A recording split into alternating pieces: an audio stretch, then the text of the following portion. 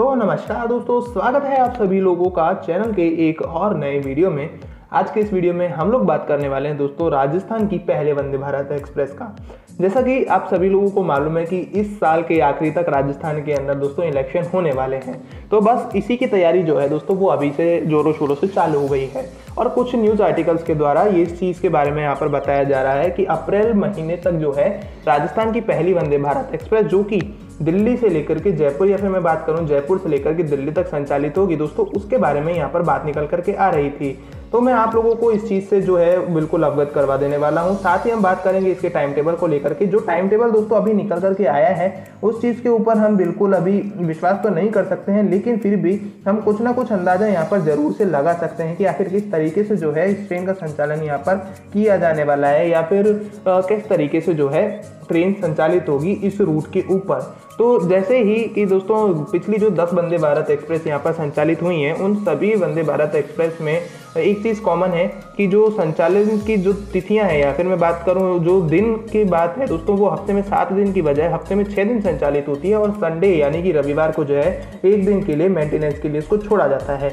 लेकिन हम बात करें इस वंदे भारत एक्सप्रेस के लिए तो दोस्तों, इसके लिए बुधवार का दिन चुना गया है कि बुधवार के दिन जो है, इस ट्रेन के मेंटेनेंस को लेकर के एक दिन हॉलीडे छोड़ा जाएगा, यानी कि एक दिन के लिए ट्रेन कैंसिल रहेगी, बाकी के छः दिन जो है, दोस्तों, ये ट्रेन संचालित होगी।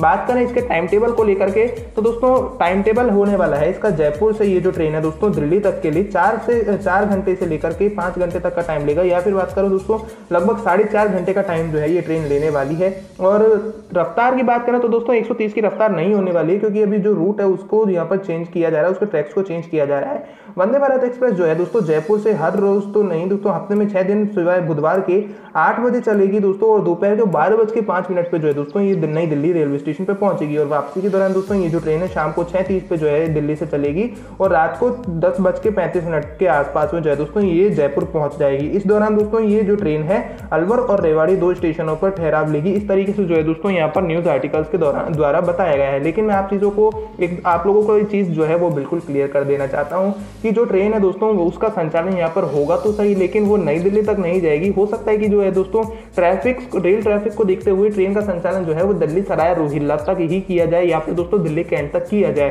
क्योंकि टाइमिंग को लेकर भी यहाँ पर जो है दोस्तों चेंजेस किया जा सकता है। डबल डेकर एक्सप्रेस के टाइमिंग के अकॉर्डिंग दोस्तों सिर्फ़ दो घंटे का गैप यहाँ पर रखा गया है तो हो सकता है कि थोड़ा आगे पीछे भी किया जा सकता है। बात करें हॉल्ट को लेकर के तो दोस्तों यहाँ पर जयपुर के बाद में है, क्योंकि अब जयपुर में थोड़े टाइम में जो है दोस्तों यहाँ पर वर्किंग शुरू हो जाएगी क्योंकि इसके जो लुक है, जो उसका लुक है, उसको यहाँ पर बदला जाने वाला है। तो इसके लिए यहाँ पर जो है इसको चेंज कर दिया जाएगा। हो सकता है जयपुर जंक्शन से न चल करके ये जो ट्रेन है दोस्तों, खातीपुरा रेलवे स्टेशन से संचालित हो थोड़े टाइम के बाद में, वैसे तो जयपुर इसका मेन स्टेशन होने वाला है। जयपुर से नई दिल्ली तक तो मुश्किल है कि जयपुर से लेकर के दिल्ली सराय रोहिल्ला तक ये जो ट्रेन है दोस्तों, इसको संचालित किया जा सकता है।